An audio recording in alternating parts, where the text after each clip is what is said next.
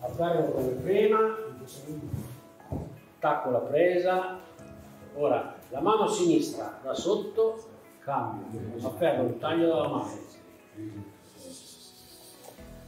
afferro il taglio della mano con le prime tre dita, poi chiudo col pollice sull'articolazione del polso, l'indice non serve, però serve l'altra mano per fare l'ultimo vasci. Uno,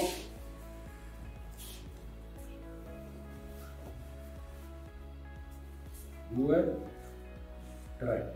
Dal basso su in direzione del suo volto, non all'esterno perché qui da non c'è. Devo andare verso di lui e portarlo con punte in piedi. Questa mantiene una torsione del polso, l'altra sulle dita, stessa cosa verso l'alto. Allora, uno, questo non c'entra niente, eh? serve adesso soltanto per arrivare a, a far come vasci. A ferro, su verso l'alto. Ok, per una volta, uno, la mia posizione è sempre sul fianco. Se uso il braccio sinistro per fare la leva, sono di dare risultati. Se lo faccio dall'altra parte sarà contrario. Chiaro? Allora a sinistra la torsione, a destra su verso l'alto.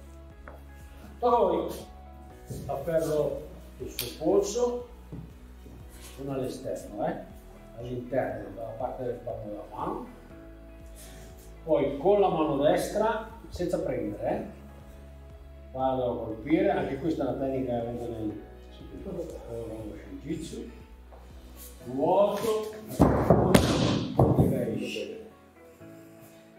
la leva è praticamente questa, Kaishi sta per rovesciamento, è per rovesciamento del polso all'interno.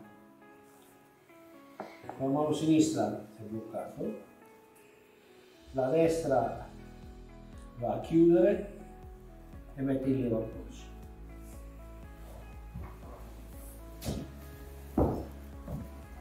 Uno, due.